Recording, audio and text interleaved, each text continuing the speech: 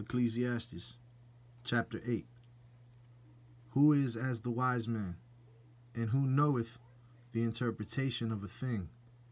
A man's wisdom maketh his face to shine, and the boldness of his face shall be changed.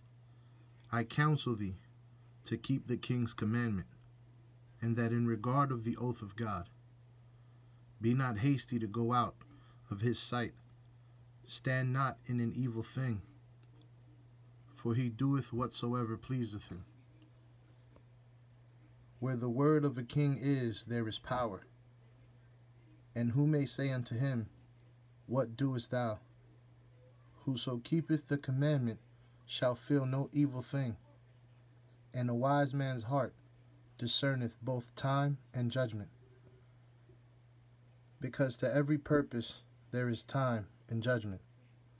Therefore the misery of a man is great upon him, for he knoweth not that which shall be.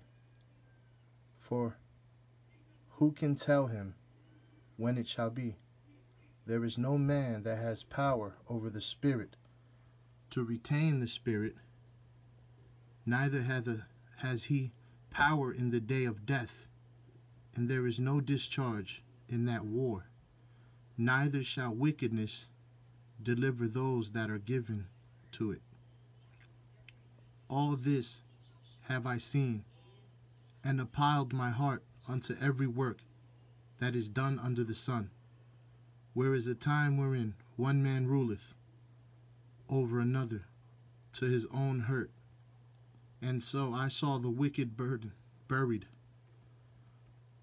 who had come and gone from the place of the holy, and they were forgotten in the city where they had so done. This is also vanity, because sentence against an evil work is not executed speedily. Therefore, the heart of the sons of men is fully set to them to do evil, in them to do evil. Though a sinner do evil an hundred times, and his days be prolonged, yet surely I know that it shall be well with them that fear God, which fear before him. But it shall not be well with the wicked, neither shall he prolong his days, which are as a shadow, because he feareth not before God.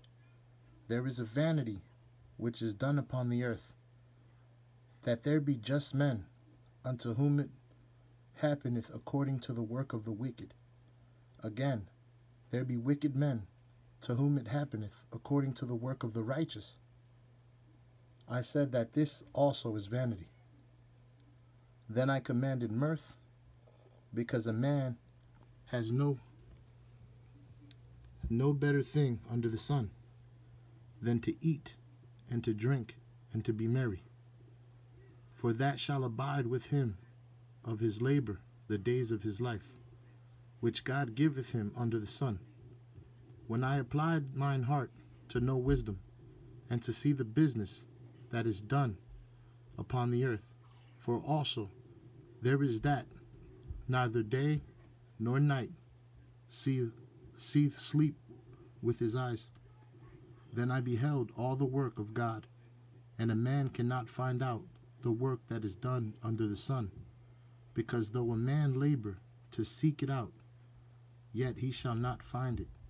Yea, further, though a wise man think to know it, yet shall he not be able to find it.